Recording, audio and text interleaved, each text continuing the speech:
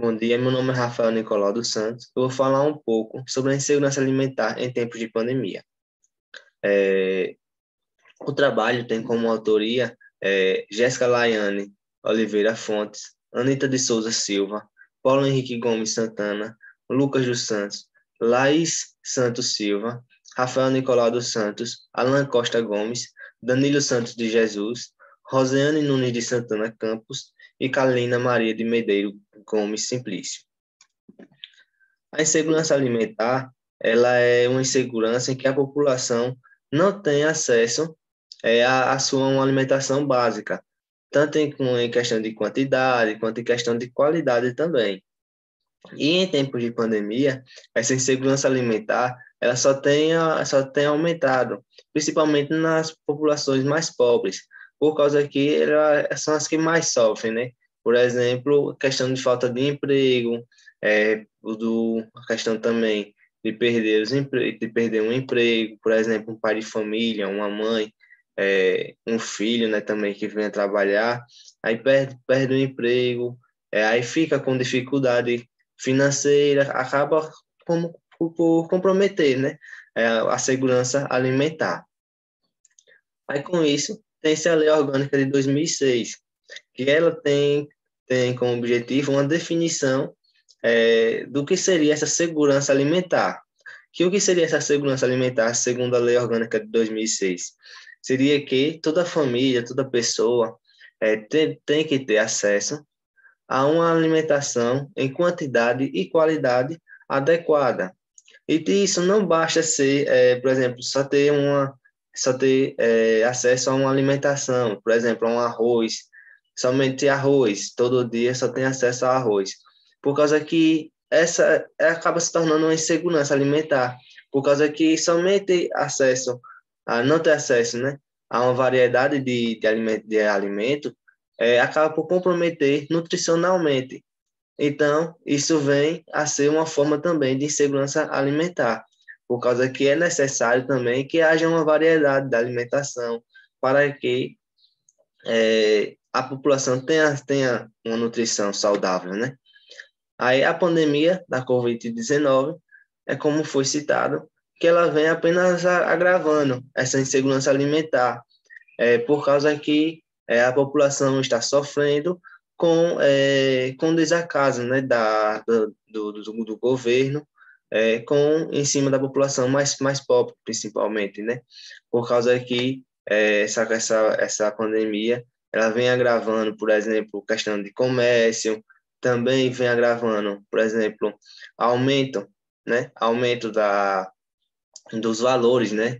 Do preço do, do alimento, porque, por exemplo, é, quem recebe Bolsa Família, ela não, não tem é, um reajuste, né? não tem uma, uma atualização dos valores, ou seja, essa falta de atualização, ela não está acompanhando, né, o valor que um Bolsa um, um beneficiário do Bolsa Família recebe, ele não está acompanhando o aumento da, da alimentação. Ou seja, se a pessoa recebia 300 reais, é, o alimento subiu é, 10%, é, 15%, a pessoa continuou é, recebendo esses 300 reais e, no entanto, o alimento vem está se tornando mais caro, né?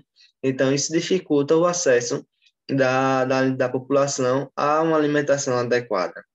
Então, o objetivo do trabalho ele vem a ser uma realização né, de uma revisão de literatura sobre a insegurança alimentar em tempos de pandemia.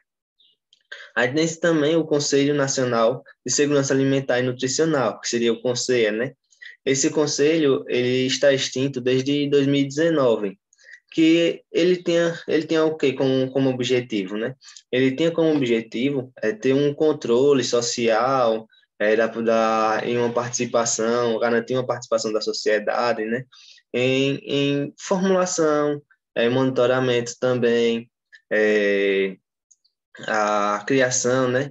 De é, de programas para que venham garantir é, essa segurança alimentar e nutricional. Então, o fechamento, a extinção desse conselho, ele vem a agravar ainda mais essa insegurança alimentar, alimentar por causa que não tem um órgão, um conselho é, responsável nesse setor, que esse esse conselho, a conselha, ele visava justamente isso, né? Ele visava garantir é, o direito, o direito básico, né, a, a um direito humano a, da população ao acesso a uma alimentação adequada. Aí aqui tem um, um uma tabela é, com a porcentagem das regiões de insegurança alimentar. Aí pode-se visualizar que, na, é, que o Nordeste ele está com, com maior porcentagem de pessoas com insegurança alimentar, é, de 70, com 73,1%. 73, aí seguido do Norte, com 67,7%. É, posteriormente, Centro-Oeste, com 54,6%. O Sudeste, com 53,5%. E o Sul, com o menor índice, mesmo assim ainda alarmante, né? Por causa que é mais da metade, com 51,6% é, de insegurança alimentar. Então, a gente pode podemos visualizar que o Nordeste é o que é a que mais é a região que mais sofre com essa insegurança alimentar, que vem liderando, é, lidera com 73,1%. E o Sul, a região Sul, é, ela é quem menos sofre com essa insegurança alimentar, com 51,6%. Aí algumas alternativas é, para solucionar nessa, tentar, ou pelo menos tentar solucionar essa, essa insegurança alimentar, para garantir uma segurança alimentar. Seria, por exemplo, kits de materiais básicos, por exemplo, produtos de limpeza, é também um vale, uma vale alimentação, porque seria valor, um valor que também fosse é, que fosse suficiente para que a população tivesse acesso para que a pessoa tenha acesso né, a, uma, a uma alimentação básica. É, kits de proteção também. Porque, é, por exemplo, se tem a ver com segurança alimentar, porque seria necessário é, uma atribuição, né, um benefício para de kit básico, né, de, de higiene pessoal, por exemplo. É porque é, essa segurança alimentar, ainda segundo a lei, né, a lei orgânica de 2006, essa segurança alimentar ela não pode vir, vir a prejudicar outro acesso a alguma, alguma necessidade básica que a pessoa venha a ter. Então, por exemplo, a higiene, a higiene pessoal. Porque, por exemplo, às vezes a pessoa pode deixar de comprar é, um alimento para comprar alguma pasta de, uma pasta de dente, uma escova de dente. Ou seja, é, um um, uma necessidade vai comprometer a outra. Então, essa pessoa acaba, acaba por sofrer é, essa, essa insegurança alimentar. Um vale alimentação seria necessário para garantir é, um acesso variado a, a, alimentos, né? Porque não, não adianta a pessoa ter acesso a apenas um, uma variedade de alimento.